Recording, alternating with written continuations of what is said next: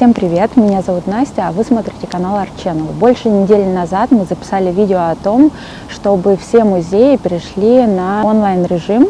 И на самом деле за эту неделю, а точнее за 10 дней, произошло очень много. Всего за 10 дней музеи перешли, все музеи мира перешли на онлайн режим. Э, сегодня я расскажу вам о своей подборке, как можно с пользой провести время на карантине. Как вы видите, сегодня мы записываем не э, в модном каком-то ресторане, а в парке.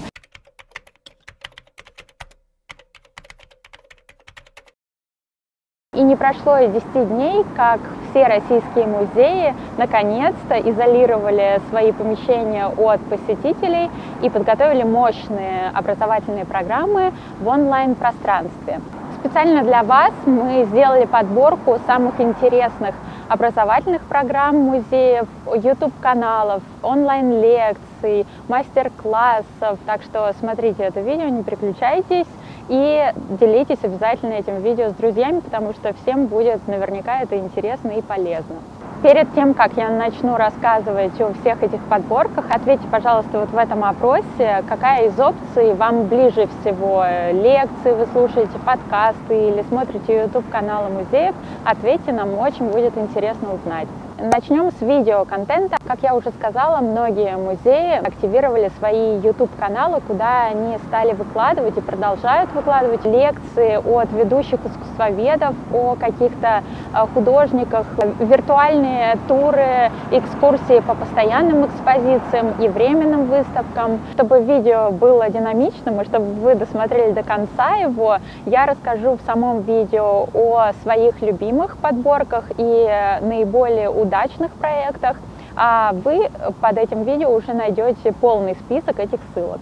Начнем с мощной образовательной программы «Самоизоляция», которую придумал музей «Гараж» и который, как вы помните, ушел первый на карантин. Лидером по подготовке видеоконтента в режиме самоизоляции стал Эрмитаж, который выпускает по 5 или 6 роликов в день. Благодаря этим роликам вы можете узнавать больше о произведениях искусства, которые хранятся в Эрмитаже и вообще об истории Эрмитажа.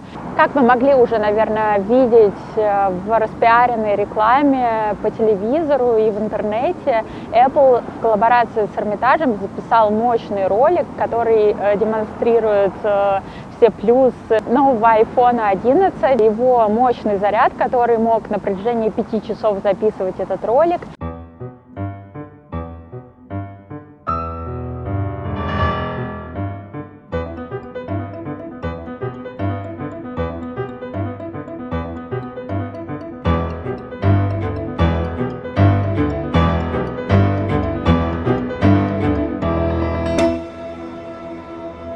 Сам пятичасовой ролик вы можете найти не на YouTube-канале Эрмитажа, а на YouTube-канале Apple. А Третьяковка тоже не отстает от Эрмитажа по созданию видеоконтента во время карантина. Вы можете найти под хэштегом Третьяковка дома очень много видео на канале Третьяковской галереи. Не слишком развит видеоконтент у Пушкинского музея. У них появилось всего за это время 5 видео, но надеемся, что они активируются и мы увидим намного больше видео с постоянных и временных экспозиций.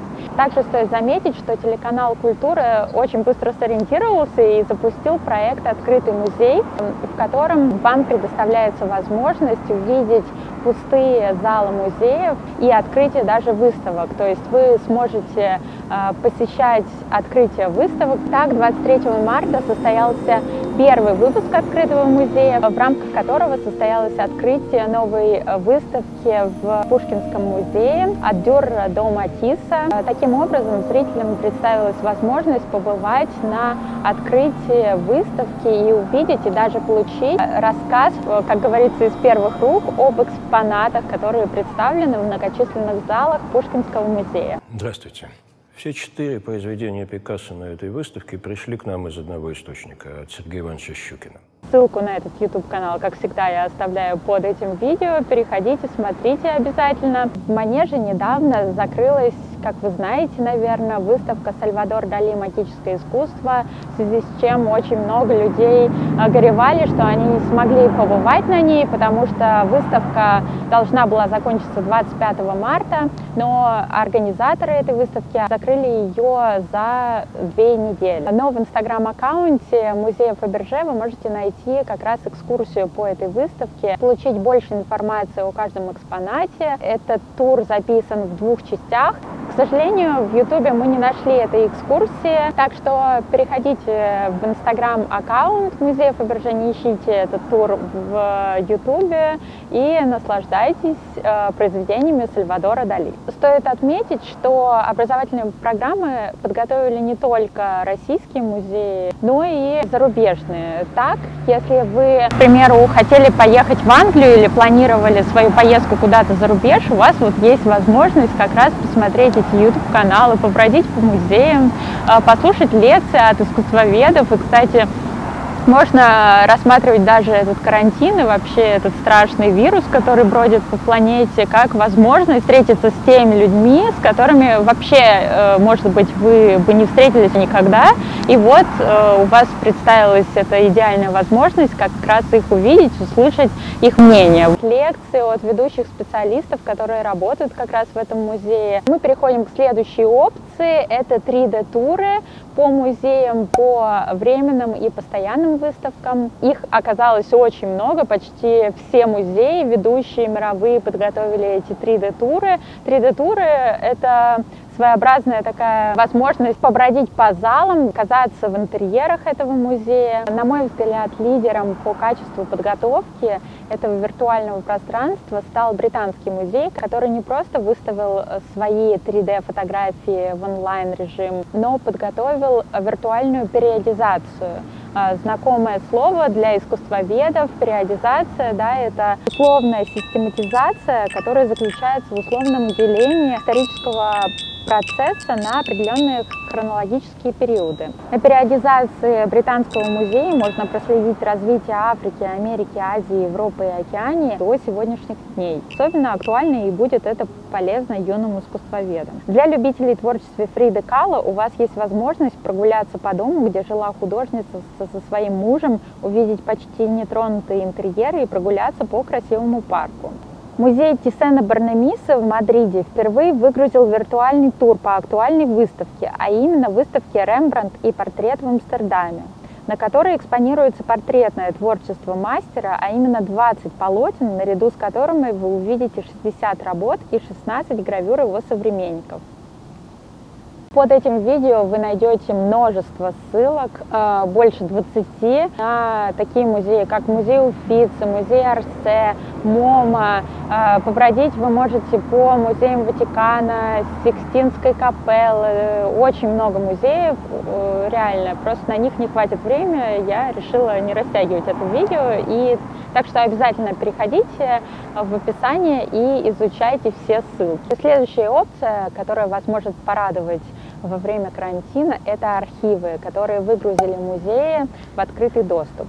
А, например, вы можете изучить все архивы музея ММОМА, а, а именно журнала «Диалог искусств», читать различные рецензии, изучить материалы у художников о стилях, художественных направлениях. А, также музей запустил свой проект «Дома с ММОМА», где вы сможете найти мощную образовательную программу, в рамках которой музей подготовил ряд лекций, образовательных материалов, даже подготовил образовательную программу для детей. А, мультимедиа арт-музей запустил хэштег «МАММ онлайн», а, по которому вы тоже можете найти ряд лекций образовательных, виртуальных туров и так далее. Галерея Уффици открыла свои архивы, музей Прадо выставил 11 тысяч э, работ. Произведения, которые находятся в Нью-Йоркском MoMA, вы можете также посмотреть в виртуальном пространстве, в онлайн-режиме. Их э, всего 84 тысячи. Для любителей подкастов ловите две ссылки. Например, на сайте музея Уитни вы можете найти очень много аудиоматериалов, которые находились раньше в архивах, теперь доступны для общего обозрения. Например, вы можете услышать мнение Джеффа Кунса о произведениях Энди Уорхола. Или, например, для любителей Арзамаса вы можете подписаться на их радио по промокоду «Карантин» э, до 15, по-моему, апреля. Вы можете перейти в ту же периодизацию, о которой я говорила, Британского музея. Там тоже, если вы нажмете на произведения искусства, помеченные кружками. Там будет открываться такое окошечко с информацией об этом произведении, и вы услышите а, комментарии искусствоведа по тому или иному произведению. Таким образом, вы можете использовать время на карантине в образовательных целях, например, а, те же подкасты на английском языке, вы можете слушать и подтягивать свой английский, или перейти в любой другой музей, например, музей Сальвадора Дали, да, и подтягивать свой испанский все.